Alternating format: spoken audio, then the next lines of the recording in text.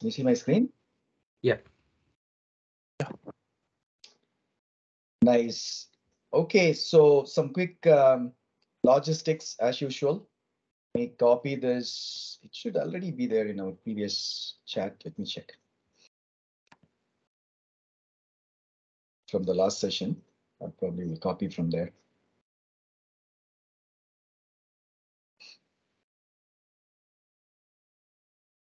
Yeah, here it is.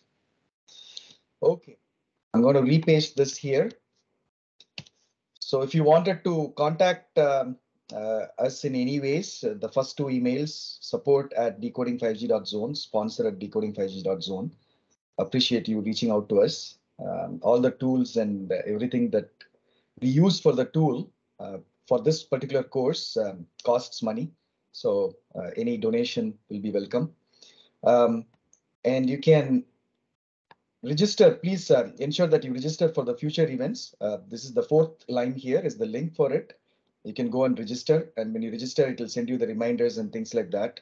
Um, so that way it's, it's easy.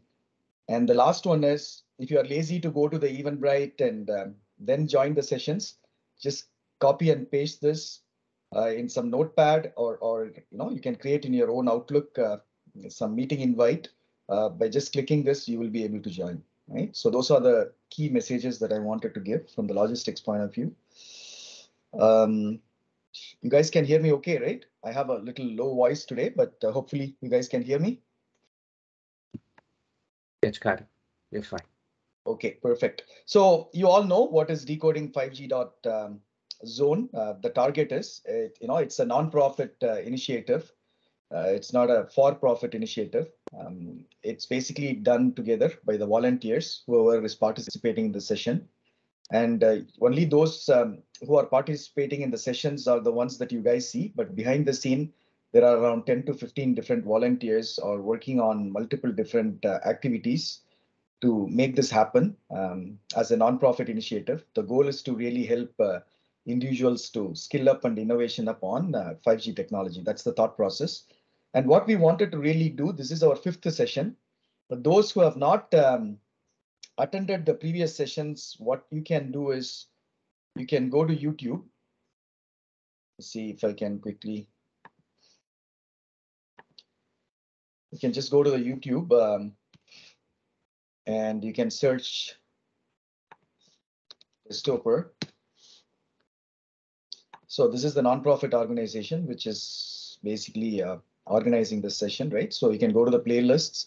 There is a decoding 5G.zone. You can click and then you will see last five sessions. Um, this is the six sessions actually, right? Last five section uh, recording. So those who have missed can always go back and listen to that video.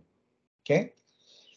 Awesome. So now you have um, everything that is related to the logistics. Um, like I mentioned, what we wanted to really achieve, uh, I think it's a 12 session program five, this is a sixth session and we have six more session.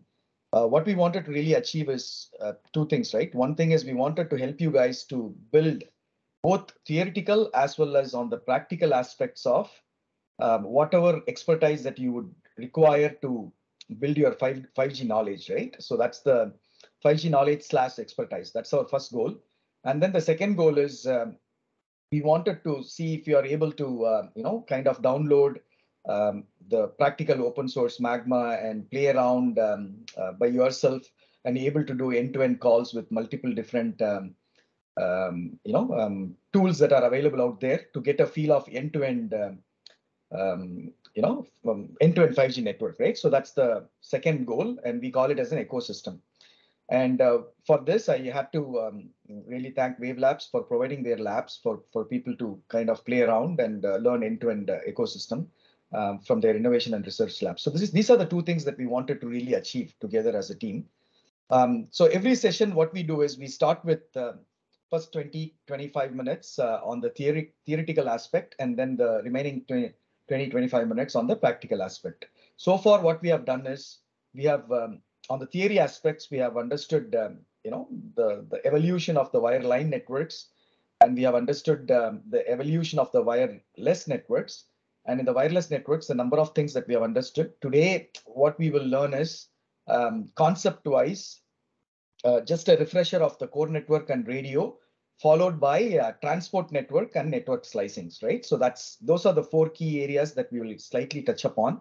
And the first two areas, which is core network and radio network, is something that we have already learned together in our previous session. You can always go and um, look up the uh, video to do that. And after that, uh, Shashidhar will jump in and he will continue um, the hands-on practical um, uh, aspects of it. In our last session, what we did was we, in, in the previous sessions, what we did was we were able to help you guys how to download uh, the, the Magma, how to install the Magma, and how can you use the simulators to uh, make an end-to-end call. And then uh, what we started doing is getting into the depth of the call flow, right? So in our in our previous session, um, Yokesh did a wonderful job of uh, explaining the registration call flow and different messages, and um, and he practically executed it, and he showed that in Wireshark, um, and and so on. And today is Shashidhar is going to um, continue on the um, PDU session aspect of it, so you guys can understand the remaining uh, portion of the 5 5G end-to-end call flow in a more practical sense. Okay, so let's continue the theoret theoretical aspects and try to talk next 20 minutes before we hand over the session to Shashidhar. I'll pause here for any questions before uh, before we move on. Is, is all good? You guys can hear me well? It's all good? Yes, sir, they're all good. Perfect. Yes. Let's learn something together um, today. So on the wireless networks, what we can just a refresh a quick one. What we did, what we learned was the evolution of 1G to 5G, and we learned 5G is custom built for um, connected industries. Right? What does it mean um, by connected industries? Is um, you know enabling um, different uh, industries uh, with whatever that they require, um, the tech stack, whatever uh, you know is required uh, to enable different types of communications. Right? Uh, before um, evolution of the wireless technology, we were doing only person-to-person communication. 4G, we started doing person-to-mission. Um, and now with 5G, we can do not only person-to-person, person-to-mission, and mission-to-mission communication. Um, because it's ground up uh, built for the connected industries, ability to provide the higher throughput, lower latency, and eh, you know uh, massive connections of uh, IoT devices um, that can enable us with a number of different uh, use cases. And we strongly believed that um, 6G will be the continuation of the 5G um, and further enhance the all the parameters that we that 5G supports today, from latency to the throughput. Plus, um, it will take the automation um, and and intelligence of the network to the all to all all to the completely a new new level, right? So that's the kind of an understanding that we had. Then we what then we started understanding the end-to-end network um, starting from the air interface to the radio, um, to the transport network and the core network and the management aspect of us, BSS, OSS, and so on. Then we got into the depth of um, how the different types of networks evolved um, over the period of time. Um, this number of things has happened, and 5G as such can um, today, like I mentioned, help us with a lot of use cases for connected industries um, um, from mission to mission to um, person to mission. And also not only that, it can also enable and help you with um, mission business critical and mission critical applications. In the earlier generation, you were just supporting the, the use cases that are just business supportive use cases like voice, um, you know, data, messaging, and so on.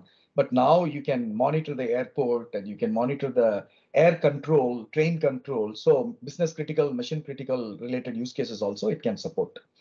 And we looked at um, the high level architecture of the 5G network, and then we jumped into um, the core network architecture, and we learned different network functions within the core network architecture. Uh, one of the key message um, before I move on is to really understand 5G is designed like a Web 2.0, probably will support Web 3.0 related style, right? Uh, it's called as a service-based architecture style. Um, no, most of the interfaces are defined uh, through through HTTP protocol, and and the payload are taken through either JSON or um, or XML, uh, depending upon um, how you how you design it, right? So that's going to really help us to enable a very um, flexible um, and disaggregated uh, uh, network. We are you know we can design because of that right? So that's the key message I want to give you. And we also talked about number of different network functions. And most importantly, I like to kind of bring up a bring up this NWDAF. This this is the one which is going to play put a at least from the core network point of view, it's going to uh, put the network to a level of connected intelligent, right? Connected intelligence. Okay. Um, because the NWDAF is nothing but a, you know, it's a data and analytics function. And, um, you know, it allows you to collect different types of data from the core network and uh, see what exactly is happening. And then you can take actions based on what is happening and what's going to happen in the future. These are all the step towards the fully connected intelligent uh, networks and use cases and the future of ours, right? So, so from the core network point of view, NWDAF is, is going to play a critical role there. Then we started looking into the radio access network. And uh, what we understood was, um, you know, because we are focusing on a disaggregated uh, deployment in 5G, um, even in the radio network, there is a lot of uh, changes compared to the 4G. Um, so they kind of splitted the radio separately and then the control plane separately and then the user plane and data plane separately. And they came up with a nice architecture with different new interfaces. Um, and each of these different uh, functions does different things, right? Like we discussed, RU is the radio side, DU is the data side, and CU is the control side. And in, on, on top of all these things, uh, what is also more important, like NWDAF in the radio, you have um, you know RIC, near real-time RIC and uh, non-real-time RIC. These these are the intelligent nodes in the radio side, which will enable you again to build a, a connected intelligent um, uh, radio network, right? So these are all the domain. These are called as a domain uh, intelligent uh, nodes. Uh, like NWDAF is for uh, core network and um, near real-time RIC and non, real-time RIC is for the radio network. And then you can have one master um, management entity that can control all these domain entity to build the end-to-end uh, um, connected uh, uh, intelligence and automated networks. Okay, so when I say connected intelligence and automation network means you you are able to um, you know run the network uh, automatically with minimum uh, manual um, intervention. It gives it opens up the intelligence. Uh, it opens up um, the the innovation and um, you know it it uh, brings AI to really help to build the uh, automated network. Then the other most important thing uh, that I wanted to share, which connects to uh, next five minutes that I'm going to talk about transport network, is um, the different um, uh, ways that you can split the radio network, right? Um, the way that I explained last time is uh, the radio network has different stacks, right? The physical layer all the way to the SDAP, and then the application RRC and mobility management, session management, and so on on top of that. So depending on um, how you are going to slice and dice these uh, different layers of the stack, um, you can build different network function, dis disaggregated network function, right? Like for example, if you're going to split at uh, this level, you can have RU, right? And even RU, you can split it into two, RU high and RU low, right? Uh, depending upon uh, how you wanted to do it. Then DU can support some uh, you know, physical layer, high layer, high level physical layer, and then the MAC layer and RLC. CU can support PDCP and SD, SDAP, right?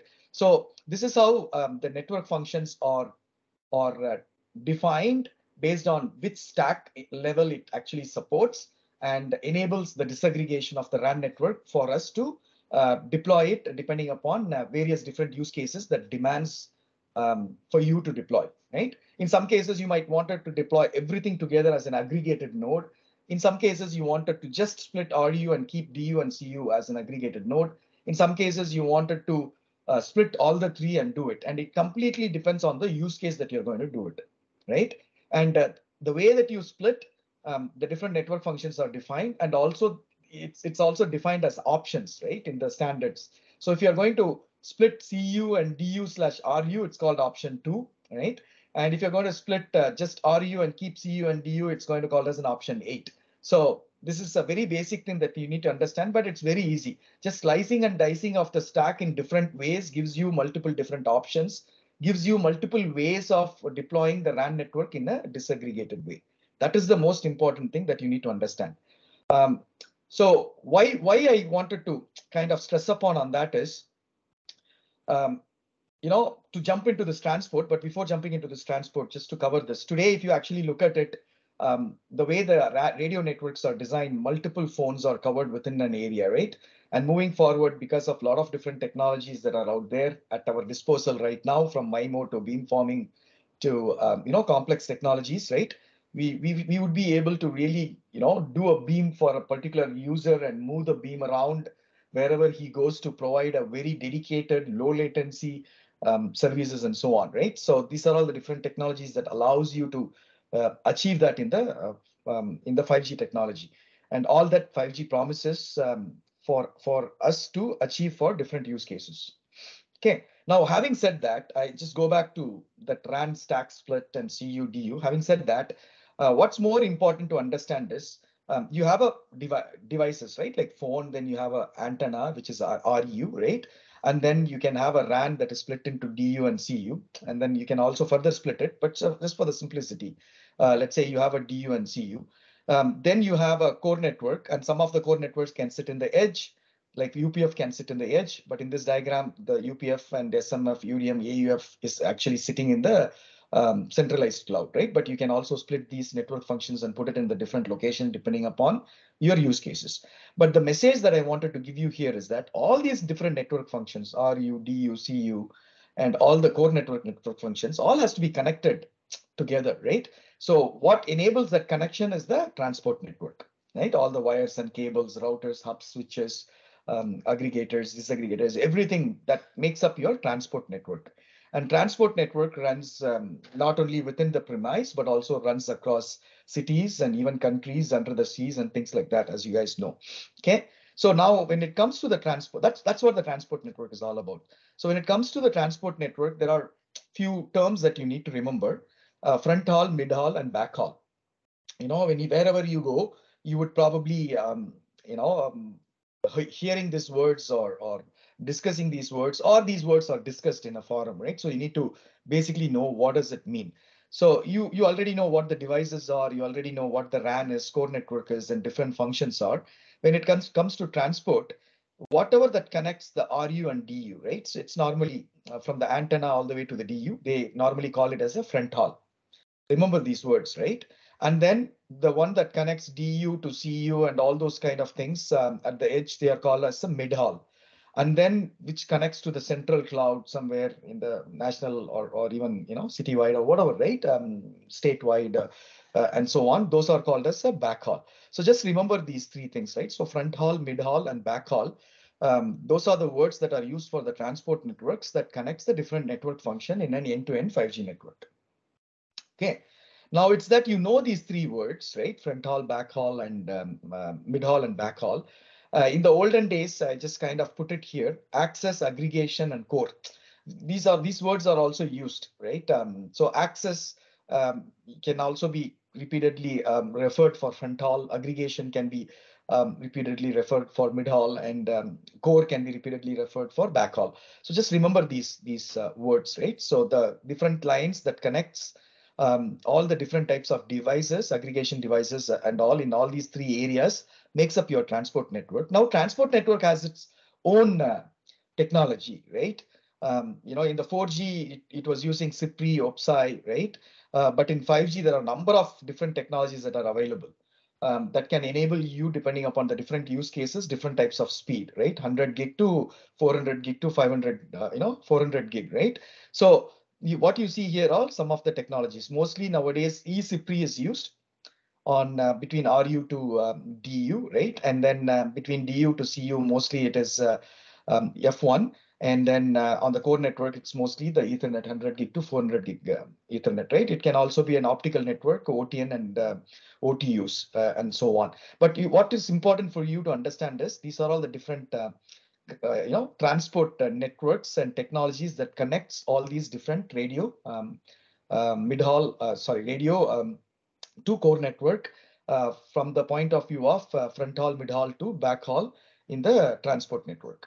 Okay? And the transport network also plays a very very critical role right? So 5g promises 10 millisecond latency means it's not just the radio network provides 10 millisecond latency okay? It's a combination of radio network core network transport network and even in some cases the management network if there is a query back and forth together it has to provide that kind of a uh, low latency, so you can um, you know um, do uh, applications uh, that require for the low latency and so on.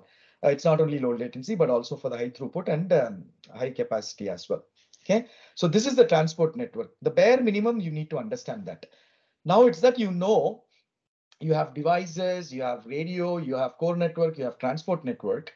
Um, in the past, what happens is the whole network used to be a monolithic network. Okay, and um, now the 5G allow brings in a concept called a network slicing. And uh, what it can do is it can split the network uh, into multiple slices, right? Like a bread slice, multiple slices. And each of these slices has its own uh, characteristics, meaning you can allocate the radio resources, um, core network resources, um, you know, transport resources, and also the infrastructure resources because I have, you know, even though we talked about RAN, core, and transport, uh, we kind of forgot the infrastructure, right? The infrastructure, what I mean by that is um, different servers, because nowadays all these uh, radio um, core and everything is software only, right? So the software basically sits in the uh, servers, bunch of servers in multiple data centers or in a dedicated devices, right? Um, so, so you have lots of infrastructure available, and then you have an infrastructure software that manages those infrastructures like virtual virtual missions and uh, um, containers managed by different platforms like OpenStack to Kubernetes and so on, right? So that also an infrastructure. So combining your radio transport core and infrastructure, everything together, you can build either a monolithic network or you can slice and dice all these resources to build multiple different network sliced uh, network. Okay, let me put it like that. So each of this network slice can support one particular use case. So if you look at from the 5G point of view, we have three things, right? One is uh, throughput, high throughput, low latency, and uh, massive machine communication. So you can either do the slice as these three slice, or you can even do the slice as different use cases and services that you provide. You can build your own slice for automotive. You can build your own slice for agriculture IoT. You can build an another slice for enterprise um, uh, to support an enterprise private LTE. You can support, you can create an another slice to do FWA. You can, I mean, you can create different types of slice to support different types of use cases, right? So this is the very powerful feature in, in 5G where you are able to slice the biggest network into multiple slices, allocate the resources um, from radio to the transport to the core to the infrastructure that is required to provide the SLA, that meaning service level agreement uh, for that particular use case that you're serving for from that particular slice, right? This is a very important concept that you need to understand. And, uh, and uh, the standards in 5G is defined, um, uh, which allows you to do this end to end from RAN to transport to core to infrastructure to the management entities. Okay. And last but not least, what I wanted to uh, talk about is a private network. See, in the olden days, what happened was uh, the barrier to entry was very, very, you know, um, high. Meaning, if I if we need to know any of these technologies, 2G, 3G, we got to really work in a big companies um, to to really know that and uh, learn that. Right now, because of um, uh, the the innovation and the open sources that are out there, um, every one of us can uh, you know make our hands dirty and learn how to deploy end-to-end network and a lot of innovative companies uh, have born and I believe continue to born uh, to support um, uh, deploying number of small, small networks, right? It's not no more required to build one monolithic network to serve everyone, but you can build small, small networks to serve um, different, different um, use cases and different, different communities and different, different uh, enterprises. So the way that uh, most of the um, uh, experts envision is uh, moving forward, you're going to have multiple smaller networks, either independent, dedicated smaller networks, private networks, um, or or network sliced based uh, private networks that will be available. Um, and that all networks has to be managed rather than uh, managing a monolithic network. The problem space is completely shifted, right? From managing from one monolithic network to managing multiple networks because it will have its own challenges. Um, so that's something that I wanted you guys to really um, keep that in your mind. Just to sum up, um, before I give it to Shashi, um, so monolithic network is public networks, private networks are all small, small networks that you can deploy uh, with all those uh, um, beautiful open sources that are available or, or closed source that are uh, built by companies, uh, many companies uh, like Celona and many other companies, right? Um, you can build uh, the private networks. So this particular slide is very simple uh, slide to sum up whatever that you have learned so far in the wireless network, right? So the left-hand side is the public wireless network and right-hand side is the private wireless network. Mostly public wireless networks are provided by the service providers like telecom service providers, satellite service providers, web service providers, and so on. And um, private networks, you can actually, um, you know, provided by the smaller, uh, um, provided to the smaller enterprises and different verticals like manufacturing verticals and so on. Um, and uh, you can also provide uh, those services to the enterprises through network slicing in the using the public network. On the private network, smaller network, you can provide that as a dedicated network to them. And mostly the public networks are owned by the providers and uh, dedicated network um, can be owned by the enterprises, right? Uh, let's say, for example, Wavelabs can help to deploy the private um, on-premise dedicated network uh, and, and help them to maintain it, but the network can be owned by the enterprises, right? And uh, mostly the public networks um, is used for business-driven communication. Private networks can be used for business critical and mission critical. Uh, but if you use the network slicing-based public network, you can still deliver business critical and mission critical uh, uh, applications. It's a trade-off, right? Do you want it to keep everything in-house and build a complete uh, dedicated private network for yourself or avail the private network uh, provided as a network slicing by the service providers um, and deploy in your um, uh, enterprise. It's completely up to you to decide which way to go. There is one, there is never one shirt fits all. Um, it's depending upon the different use cases you choose what is the right network and right technology for you. Okay, so I will pause here um, and in our next session, we will start learning about other additional uh, adjacent technologies that makes up uh, the network more more intelligent, right? Like cloud, NFV, SDN, and so on. We'll start learning um, from the theory point of view in our uh, next session on adjacent technologies, and then we will start learning about standard and open sources, and um, last but not least, spectrum, right? So in next six sessions uh, to seven session in the theory slide, uh, this is what you will learn. By end of the session, right, um, you would probably understand a big picture, um, theoretically end-to-end picture, and also practically um, how to uh, really, you know, develop and uh, build and um, uh, deploy and monitor the, uh, you know, uh, smaller networks, um, let be a FWA or private networks. Okay, I'll pause here for any questions. Hopefully it was useful, guys.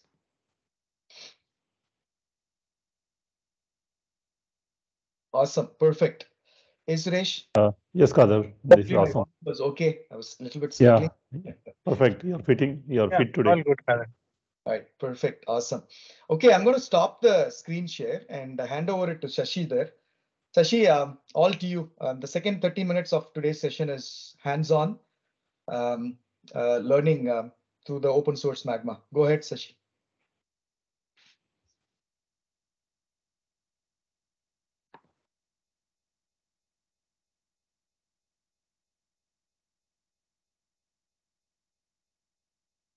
Uh, let me know if my screen is visible, right? Yes. Yes. Much visible, Shashi. Are you are you nervous? Are you okay? No, I'm okay. All good. Awesome. Go ahead. This is the way we get there. Uh, so uh, I'd like to take a minute to just recap on uh, recap on what uh, what was covered in the previous practical sessions. So uh, we in the in the very first session we uh, demonstrated how to install Magma and how to fire it up, and along with it we also uh, connected to the open source uh, simulators that is the OAI GNB. And the uh, second session that the the follow up session. Um, also had uh, the where we explained in detail the registration call flow. So today we will be going through the PDU session demo. So in this session, we'll be going through what is PDU session and what are the important parameters that are involved with it. Uh, we'll touch upon QoS flow. Since QoS flow in itself is a very important topic, we'll be covering covering it up in, in depth in the upcoming sessions. Then we'll take a look at the message exchanges and the call flows, followed up by PCAP analysis. And finally, we shall end it with a short demo. Okay, sounds good. Let's go.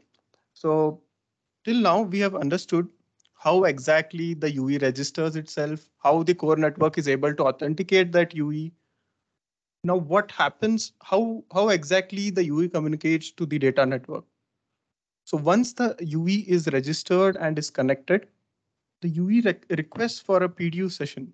So uh, a PDU session is required for the UE to actually talk to the data network or to exchange any traffic or any information to pass from the UE to data network or vice versa.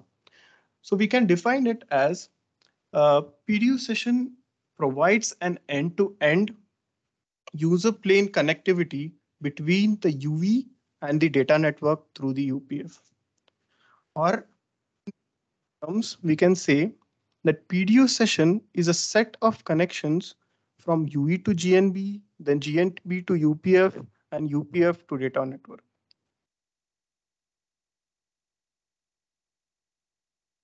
Let's now uh, take a look at the PDU session parameters. So uh, the first one is PDU session identifier. What exactly is it? As the name suggests, PDU session ID is an identifier of the PDU session at the UE and as well as the core network. What is SNSSAI? It, it's basically the slice identifier. It refers to the slice uh, network slice in which the PDU session is created. Then what is DNN? So DNN um, stands for data network name and DNN is the name of the data network to which the PDU session provides connectivity. Uh, PDU session type. This defines the end user protocol carried by the PDU session. It can be either IPv4, we have IPv6, we have IPv4, v6 as well. Gone? Oh, sorry.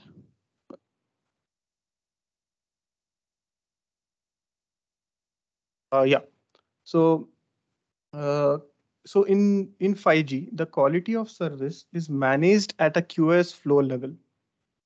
As we understand, there is uh, there needs to be a PDU session created for the traffic to flow, and within this PDU session, there is a QoS flow. So what exactly now is QoS flow?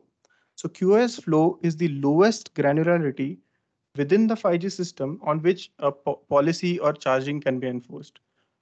Uh, what exactly it means uh, is QoS flow carries all the characteristics like latency or uh, data rate or priority. So different QoS flows have different uh, characteristics. QS flow QS flow is identified by QFI. So QFI um, uh, is uh, QFI is nothing but the QoS flow identifier. So when a PDU session is created, uh, always there is uh, uh, there is there is one QoS flow that is created along with it, which is called as the default QoS flow. This QS, uh, QoS flow remains until the lifetime of the PDU session. So whenever uh, to uh, sum it up, whenever UE latches onto the network and is registered and authenticated, at least one PDU session is created for it and then a default QS flow is added to it. This default QS flow will remain up to the uh, uh, end of the uh, end of the PDU session. On. Uh, within this PDU session, there can be multiple QoS flows based on the uh, require uh, based on the requirements of the service. So um, so for, for a UE, there can be multiple PDU sessions. Similarly, depending upon the type of traffic, there can be multiple QoS flows within the PDU session. And every quality of service flow will have its own unique characteristics based on, uh, like I said, latency, priority, and data rate. And all these QoS flows are identified by a QFI, that is QoS flow identifier. Now, uh, let's take a look at um, at this uh, very important diagram. So uh, there is our UE or this is our mobile device or you can call it CPE. And then we have our RAN that is here uh, GNB. Then we have our UPF that is nothing but user plane function. And beyond this, we have our data network connected through the N6 interface. So um, let's uh, now take an example or uh, uh, this uh, the yellow part is your PDU session. When the PDU uh, every UV will uh, will have uh, can have multiple PDU sessions. Uh, each PDU session there is a single tunnel that is created between the GNB and the UPF, and on the uh, radio side we have uh, radio resources that are allocated, which are called uh, which are termed as uh, data radio bearer. So a single PDU can consist of multiple dat- data radio bearers and multiple QoS flows, uh, but a single PDU is mapped to a single tunnel. Whenever, uh, so uh, let's take a scenario. Whenever the UV uh, UV goes active, suppose um, we have um, let's take uh, let's take an example of an OTT platform. What happens first? Uh, the UV first is registered and authenticated, and then uh, a default QoS flow is created here. Once the default QoS flow is up, it then require uh, it it then requests for uh, an OTT uh, service, suppose Netflix. Then what happens is uh, whatever the service that service uh, requires all the resources is passed on to the uh, PCF, that is policy control function, and then all a new QoS flow is created with the required characteristics. So the new QoS which is QoS flow which is created will um, will have all the traffic uh, leading to that OTT platform. And uh, all the uh, the PDU session creation, deletion, and modification is um, uh, is respo- is uh, taken care of by SMF. Uh, on the like I said, so um, the QoS flow. Suppose the UE requires another service uh, like a WhatsApp video call or something. Uh, if if the current DRB is not supporting uh, that particular QoS flow, it creates another um uh, DRB, and then that QoS flow is taken forward.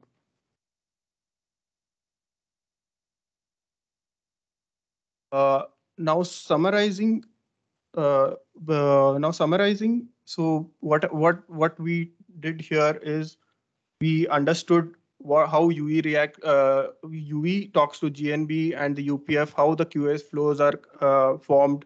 Uh, the Q, uh, so a PDU session can have multiple QS flows. A PDU session can have multiple data radio bearers. A PDU session is mapped to a single tunnel. Uh, data radio bearer is allowed to support one uh, is uh, can support one or more QS flows, and so on. Uh, so let's take a look at the uh, call flow. So we have our CP or the RAN. Then uh, we have our MME AMF. We have mobility D. We have subscriber DB, which stores all the information of the subscribers. We have session D, which which is nothing but the SMF. We have policy DB, which stores uh, all the policy information. We have pipeline D, which is nothing but our UPF. So what happens exactly? Uh, the UE sends the PDU session establishment request. It lands on AMF. AMF then forwards this uh, message to session D, that is nothing but SMF. SMF fetches the required policy details from the policy DB and then forwards it to the pipeline D. The pipeline D respond, uh, responds back to the session D, that is the SMF. The session D then responds back to the AMF. Uh, and the uh, and the AMF then sends a PDU session resource setup request to the GNB, and it piggybacks it with PDU session establishment accept message also. So what happens here is um, uh, the PDU session resource setup request lands on GNB, and if the GNB is able to allocate all the resources which are required for this PDU session, then it accepts it and the PDU session establishment accept message is sent or is forwarded to UE and the GNB also sends a PDU session resource setup response back to the AMF. Uh, take a negative scenario when the GNB is not able to allocate all the resources. What it does is it simply um, drops the PDU session establishment packet and then uh, it sends a reject message back to AMF. So just to um, uh, just to summarize again, what happens? UE sends establishment request. It is forwarded to the SMF. SMF fetches all the policies and then it is forwarded to pipeline D. Pipeline D responds back. SMF responds back to AMF. Here SMF, uh, sorry, AMF um, sends a PDU session resource setup request saying GNB, these are my resources which are, which are required for this PDU session. Are you able to allocate it? So along with that, it also sends an establishment accept message. So once the GNB is uh, able to allocate allocate the resources, it basically uh, forwards this establishment accept to the UE and uh, sends a response back to the AMF. Let's now uh, take a look at the PCAPs. Uh, so till now, up to uh, up to this session, we have seen how uh, we have seen all the messages like the initial UE message, and the initial context setup response, all uh, the all the registration and the authentication flow is covered. So let us take a look what happens after the registration complete. Like I said, the UE will send uh, uh, send the AMF a PDU session establishment request. So uh, then what happens is AMF uh, AMF sends to the GNB a PDU session resource setup request. So this is this is the same request uh, which is happening here. Basically, it tells Gnode B that whatever resources are allocated, are you able to allocate it? Like it, yeah. So after that, what happens is it is piggybacked with PDU session establishment accept message. So uh, uh, PDU session establishment accept if everything goes well, what the GNB does is basically whatever message uh, we piggybacked, we takes it and it forwards it to UE. Uh, and it also sends a uh, PDU session resource setup response back to AMF. So now let us take a look at each request uh, in detail. Uh, let us see some of the uh, identifiers, what, what, what information is passed, okay? So uh, starting with PDU session establishment request, this message, like you can see, it is sent from UE to AMF. This is the very first message. Uh, this this message is basically for the PDU session creation. Okay? Uh, and what happens is uh, in uh, you can see the message type is PDU session type, and we also get um, PDU session establishment request. Sorry, and we have the PDU session type which uh, denotes whether it is IPv4, IPv6, or IPv4v6. Then uh, we have the request type, whether it is an initial request. Then we have the SNSSAI, uh, IE, that is basically uh, saying which slice the PDU session will be and the DNN here the DNN is given as internet. Then what what happens is the AMF uh, sends a PDU session resource setup request to the GNB. So what this request has, uh, what this message has. So it it contains elements like PDU session aggregate maximum bit rate, basically PDU session uh, AMBR. It has both for the DL, UL, and then we can see some uh, tunnel information. Uh, the IP address of the uh, core is sent here. And then again, the PDU session type, whether it is IPv4, IPv6 or V4, V6.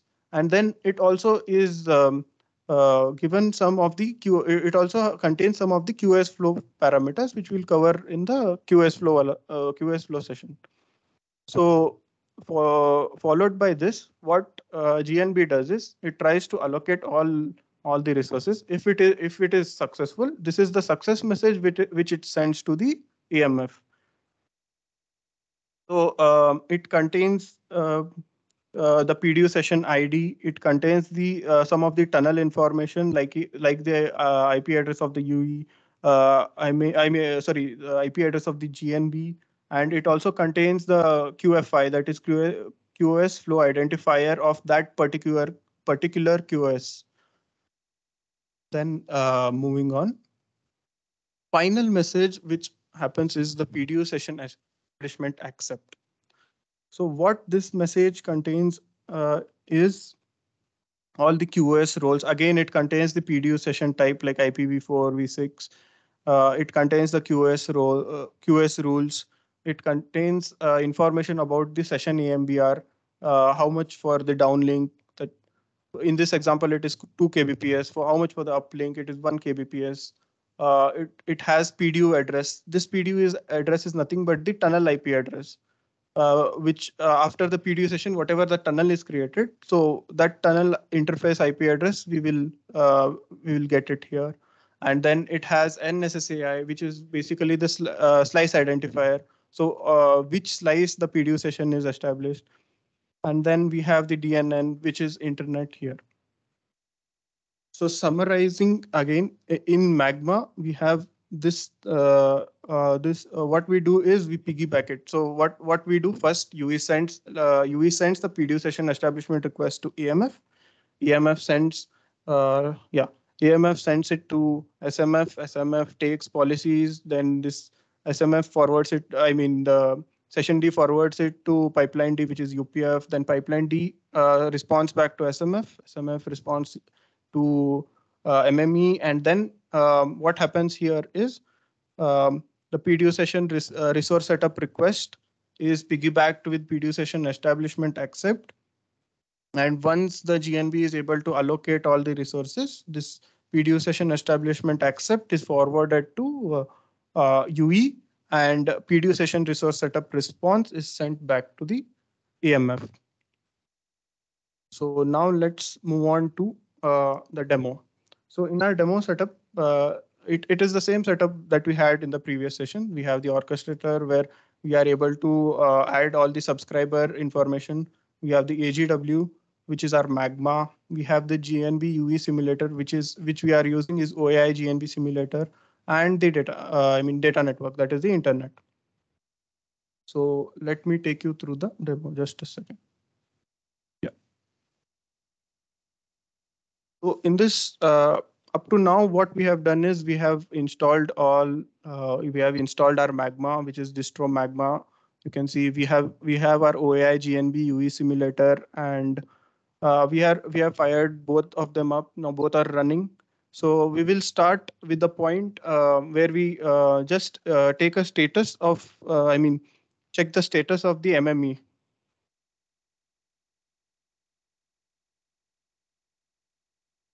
So yeah, uh, yeah. So we'll check uh, whether all the services are up, Magma D, Pipeline D, all the as you can see, all the services are up. And then we we verify again with by checking the process ID of uh, MME. And then uh, we are going to basically do a packet capture. So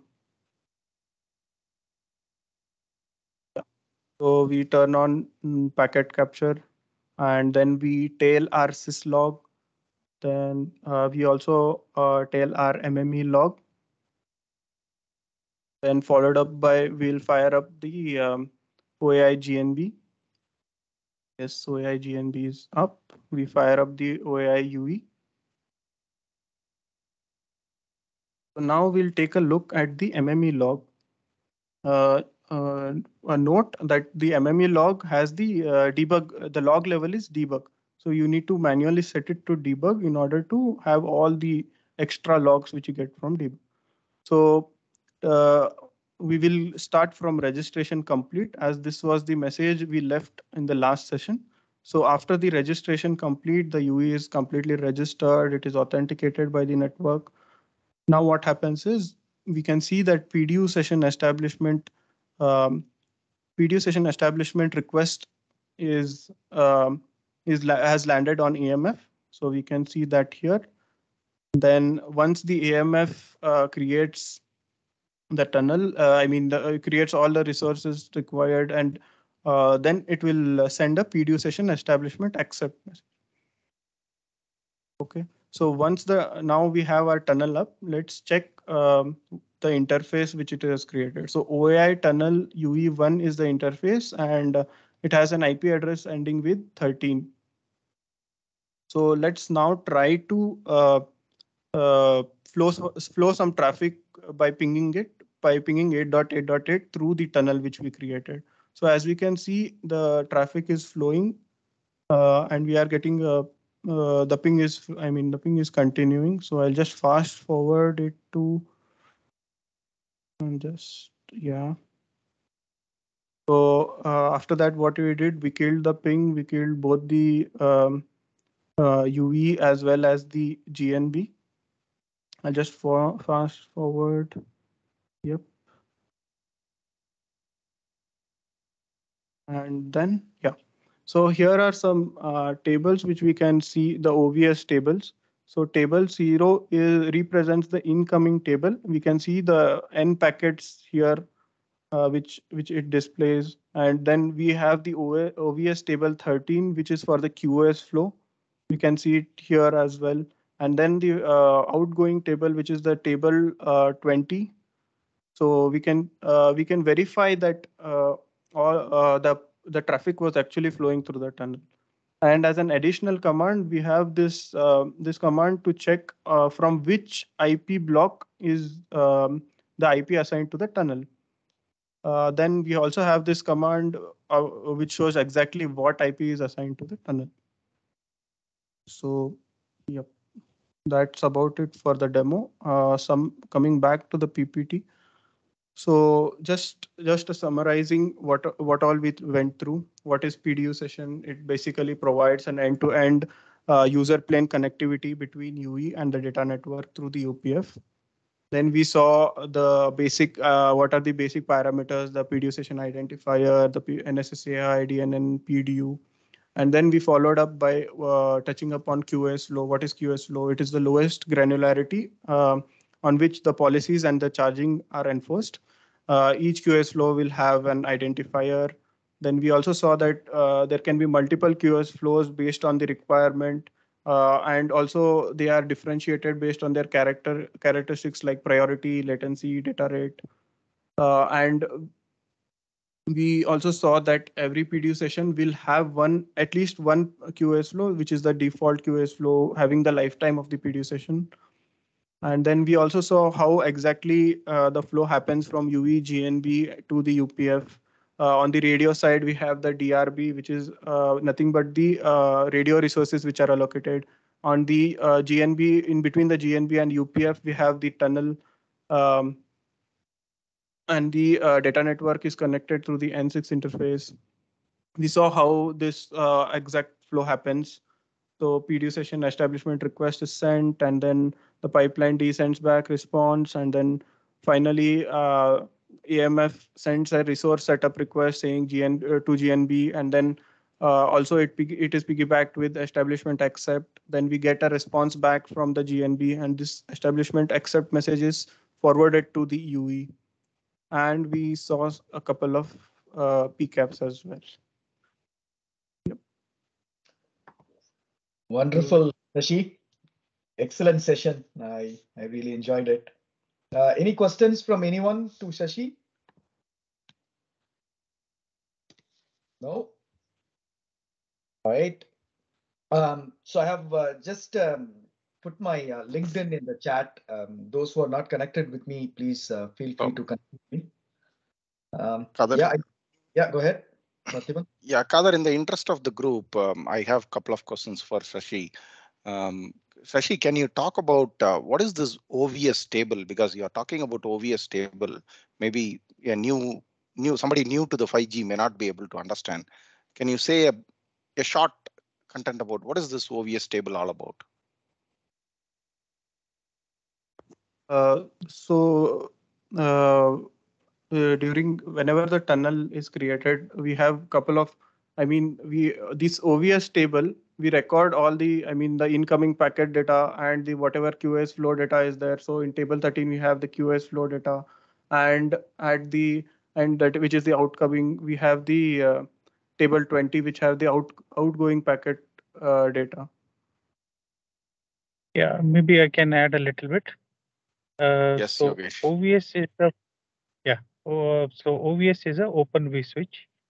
Uh, it's an open source project uh, which provides the fast path processing of the packet. uh, let's say our Linux kernel can still process the packet without it, but then it will behave like a general purpose OS. Uh, with OVS, what happens is we provide a pipelined architecture which helps packet to navigate fastly uh, within the Linux. So it's like a software-based fast path, uh, an equivalent of a router uh, which is there at our home. So it provides a faster packet processing uh, in the kernel. Thank you, Uh, Yogesh. and Yeah, then, yeah, I- i- it, does with uh, various tables, whatever Shashi was mentioning. It configures the table so that uh, that pipe is created. exactly. Yeah. Yeah, thank you, Yogesh. Yeah, the last line makes sense for everybody. It acts as an router where the incoming packets and outgoing packets are mapped and it makes it into fast path. That that's the important point. Uh, all of us has to take takeaway message for all of us is to instead of a normal Linux kernel, this OVS adds to the fast path and it does the routing of packets from incoming to the outgoing in a faster way. Yeah. Thank you, Yogesh. Over to you, uh, you. Kadar. Thank you, Parthiban. Um, yeah, so like I mentioned, I put my LinkedIn uh, in the in the chat. Uh, those who are not connected, please feel free to connect with me. Um, and also don't uh, forget to, you know, copy the links that I sent in the chat. If you don't want to register in Eventbrite, you can click that Cuttly link to join um, in our next uh, session, which is going to happen in two weeks. Um, but I sincerely recommend you go to the Eventbrite and register yourself so the reminder comes and, and you, you you remember um, because even for me sometimes um, because it's bi-weekly I tend to forget last minute oh no we have a session and then uh, we got to prepare so I just uh, recommend uh, you guys to um, register in the Eventbrite. So yeah, you know what else? Thanks for joining. Um, wonderful session. Um, I really appreciate Shashi uh, for your you know a crystal clear, uh, very very uh, um, you know um, precise explanation. Um, really enjoyed your session, and I trust everyone else also enjoyed your session. So with that, uh, let's close for today. Uh, you all have a wonderful day, and talk to you guys soon. Bye bye.